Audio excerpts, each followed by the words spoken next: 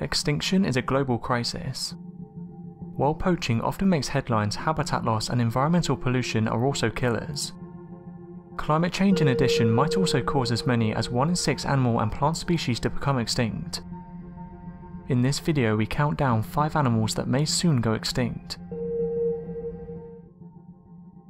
While Africa's elephant populations are not in as dire shape as the rhinos, a look east to the Indonesian island of Sumatra shows a different picture.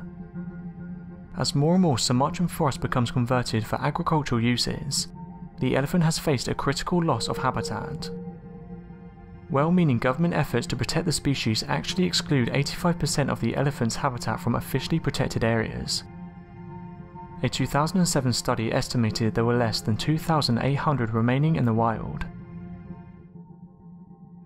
In a country where traditional medicines made from exotic animal parts can catch a hefty price, it's a small miracle the South China tiger didn't disappear long ago. Though the species had a population of over 4,000 in the 1950s, a 2004 study suggests there were no longer any viable wild populations, and that the species' only hope was reintroduction from among the captive population. Hawksbills are named for their narrow pointed beak. They also have a distinctive pattern of overlapping scales on their shells that form a serrated look on the edges, these coloured and patterned shells make them highly valuable and commonly sold as tortoise shells in markets. Hawksbills are found mainly throughout the world's tropical oceans, predominantly in coral reefs. They mainly feed on sponges by using their narrow pointed beaks to extract them from crevices on the reef, but also eat sea anemones and jellyfish. Despite their current protection, there is still a disturbingly large amount of illegal trade in hawksbill shells and products, they are much sought after throughout the tropics for their beautiful brown and yellow carapace plates that are manufactured into tortoiseshell items for jewellery and ornaments. In recent decades, Eastern Asia has provided an eager market for tortoiseshell. Hawksbills are particularly susceptible to entanglement in gill nets and accidental capture on fishing hooks. Sea turtles need to reach the surface to breathe, and therefore may drown once caught. Known as bycatch, this is a serious threat to hawksbill turtles.